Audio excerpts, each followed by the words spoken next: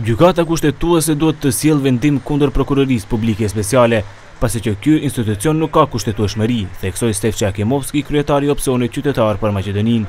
Sipas tij, për këtë Gjykata Kushtetuese duhet të veprojë duke respektuar ligjin.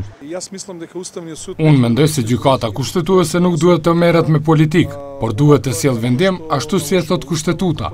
E ajo është që PPS Është në kundërshtim me Kushtetutën dhe në kundërshtim me ligjin për gjykata.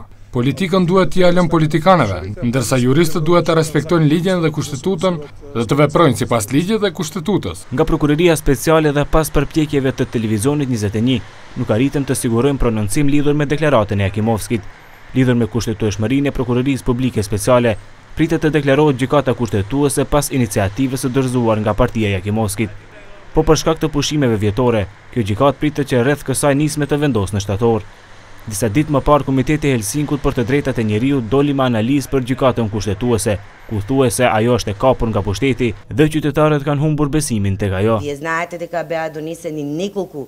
Ju e dini se janë sjellë disa vendime jo të duhura, të cilat shumë realisht e nxjerrin në pah gjendjen e Gjykatës Kushtetuese, politizimin e saj dhe implikimin e saj me pushtetin ekzekutiv.